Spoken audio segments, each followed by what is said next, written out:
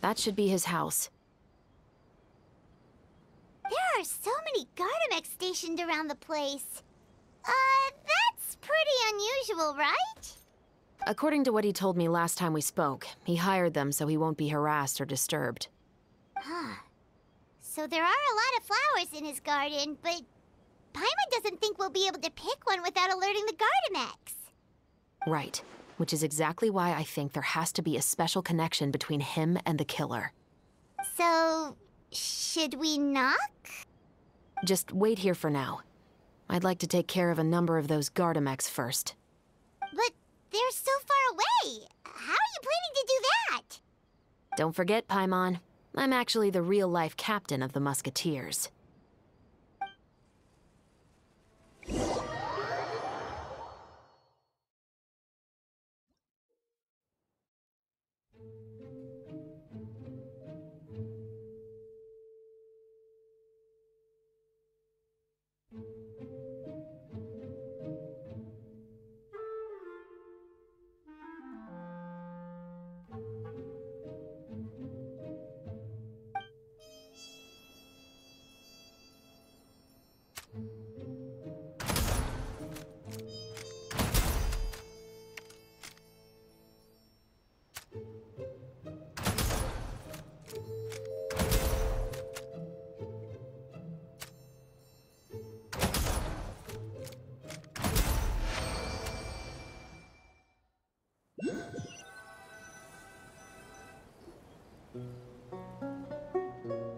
All clear.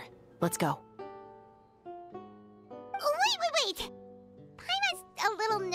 Now that we know he could be the killer. Can we go over our plan of action again?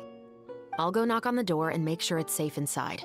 Once we're sure that we're in the clear, I'll ask him to come with us for a quick round of questioning at the guard's headquarters. But can't we just arrest him? We still have no evidence that he's the killer, or that he lent the killer any direct aid. Still, it would be appreciated if you could pick a rainbow rose from his garden for me while I'm talking to him. It'll help the Marechaussee Phantom confirm Emilie's theory. Sure, no problem.